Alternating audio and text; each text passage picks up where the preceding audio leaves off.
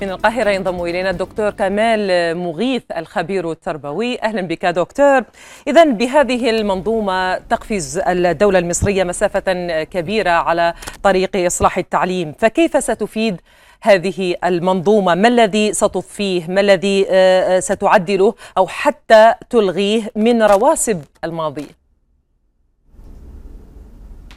أهلا بك أستاذ سهام وأهلا بالسادة المشاهدين.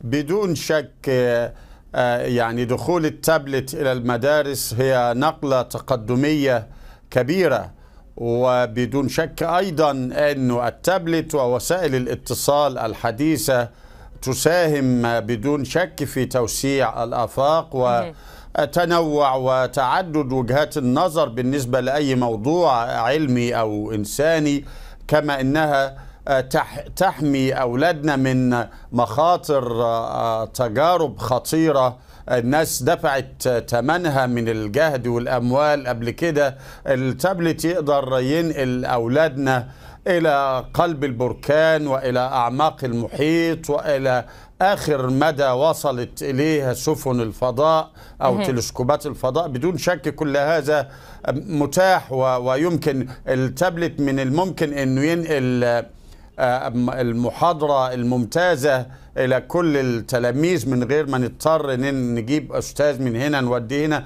كل هذا جميل بدون شك وكل هذا تقدمي وكل هذا صحيح. مطلوب ولكن تبقى هناك عدد كبير من المحاذير وهو على سبيل المثال هل التابلت في حد ذاته هو الهدف إحنا عارفين إن التابلت من الممكن ينقل احداث من كل أماكن العالم من الممكن إنه ينقل تجارب عظيمة من كل مكان في العالم ولكنه أيضا من الممكن إنه ينقل طيب. كيف يمكن أن تصنع هذه المنظومة. كيف يمكن أن منظومة التابلت في هذه النقطة بالذات دكتور. وهكذا. وعشان كده نعم. منظومة التعليم آه الجديدة هذه برأيك لسيادتك آه ما الذي تحتاجه هذه آه المنظومة حتى تؤتي ثمارها؟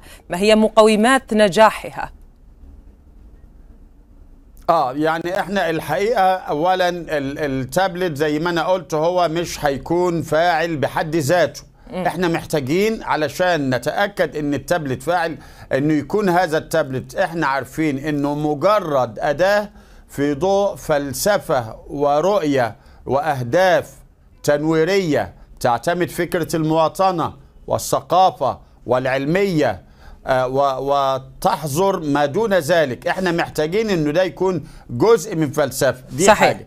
الحاجة الثانية لكي تؤتي أكلها آه وللأسف الشديد إنه لما بيتقال التابلت بيتقال إننا هنقلل تدخل المدرسين وأنا ما شفتش مكان في الدنيا خالص بيعتمد إن بيعتمد على فكرة إن التابلت يهمش المدرسين من التدخل في العملية التعليمية. من التصحيح من إن هم يظلوا يعني مناطق للقدوة والسلوك القويم والقيم بالنسبة للتلاميذ للأسف الشديد لما بنيجي نتكلم عن التابلت بنقول هنقلل تدخل المدرسين وبالتالي طيب. أنا أظن أن التابلت هو مجرد جزء من منظومة هو فيها وسيلة. تطوير للمنهج وفيها تطوير للمعلم صحيح. وفيه محدد دور المعلم وبالتالي هو مجرد أداة من أدوات تطوير التعليم صحيح طيب كيف تتوقع استجابة وتفاعل أطراف العملية التعليمية أقصد هنا الطالب الطالب المدرس الأسرة مع هذه المنظومة.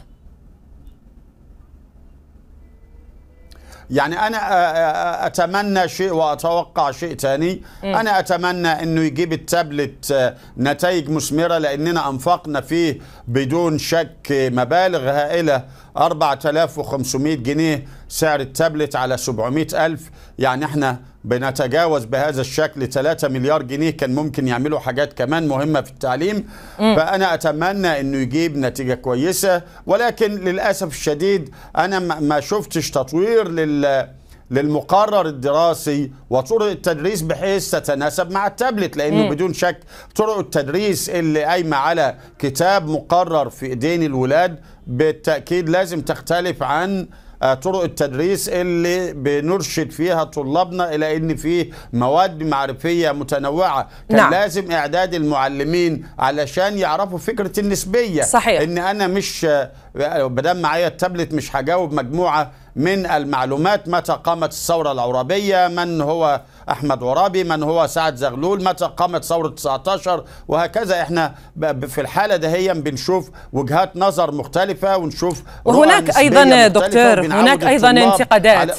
كنت ذكرت قبل آه، قليل نقطة آه، آه، مهمة هي أن فكرة التابلت ممكن أن تلغي المدرس أو آه، مهمة ال- المدرس. طيب كيف آه، تفسر هذه الانتقادات المسبقة لهذه المنظومة آه، الجديدة؟ وهل يمكن تبديد المخاوف بشأنها؟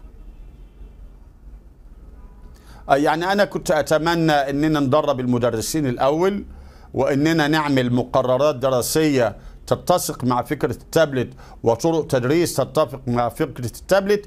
وكنت أتمنى كمان اننا قبل ما نوزع 700 ألف تابلت نوزع ألف تابلت على ثلاث أربع خمس مدارس في مختلف محافظات مصر ونعمل آه، تجربة موضوعية مقاسة مقننة يقوم عليها أساتذة خبراء يعرفوا إيه الآثار السلبية والإيجابية وكيف يمكن تقليل السلبيات وتعظيم الإيجابيات. كل ده كان ضروري لكن على العموم طالما أن التابلت اتوزع نحن نتمنى إن آه، يكون فيه تعليمات وزارية جيدة بتحاول نعم. تعالج فكرة إننا ما عملناش تجربة قبل كده شكرا جزيلا لك الدكتور كمال مغيث الخبير التربوي كنت معنا من القاهرة